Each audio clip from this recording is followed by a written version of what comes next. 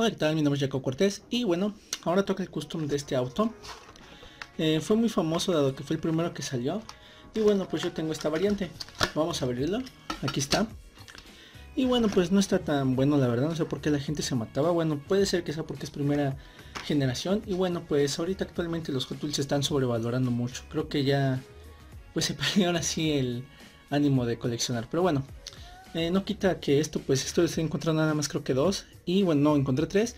El amarillo y este rosado. Y bueno, este tiene un error o bueno digo yo que es variante por las ruedas que tiene. Dado que no son las de la tarjeta. Y hace mucho pues encontré otro también. Pero pues no, no me gusta mucho el modelo. Pero tenía los cristales de color negro. El cual pues en la tarjeta tampoco lo marcaba que era así el auto. Pero bueno, era algo curioso también. Y bueno, pues son variantes que uno va encontrando a lo largo de, de que va coleccionando.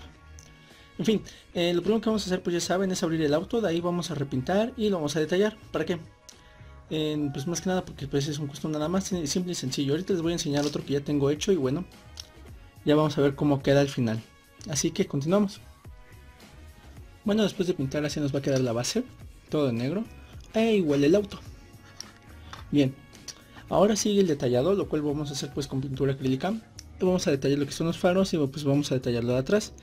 Entonces para esto pues ya saben cuál es la técnica, tengo otro video en el cual les muestro cómo.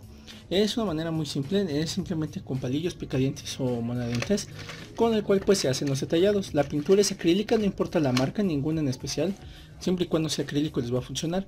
Y pues para finalizar recuerden siempre poner una capa de transparente o laca transparente. En el, todos los casos pues vienen resultando igual. Eh, no se preocupen, yo lo hice de negro mate, pero ya con el transparente no pasa nada, simplemente va a agarrar un tono brilloso y bueno, ese es el resultado que yo quiero.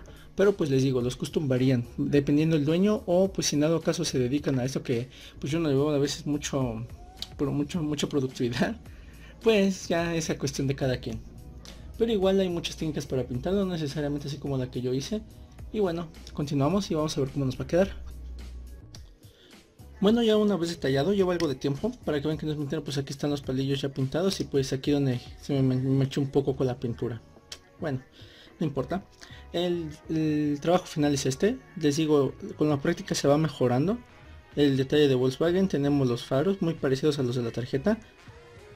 También los faros de abajo. Y en la parte de atrás pues tenemos estos. Bueno, este sería el custom de este Volkswagen, este Golf. Y bueno, antes de finalizar el video quiero mandar saludos a Skipper Conde. Un saludo para Najarro.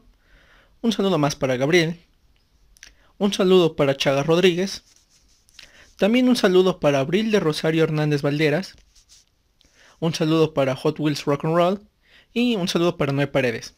Y bueno, sin más, espero les haya gustado mucho. Eh, les digo, eh, ahora sí va dependiendo y más que nada la práctica para hacer los detallados. Todo esto se puede hacer simple con estos, estos pequeños palillos. Y bueno, también lo pueden llegar a conseguir con pinceles más finos, los cuales se los voy a mostrar en otro video porque todavía los voy a ir a conseguir. Y bueno, voy a, voy a pedir asesorías con algunos conocidos o conocidas y que ellos se dedican a la pintura. Así que ellos ya me van a orientar mejor. Y bueno,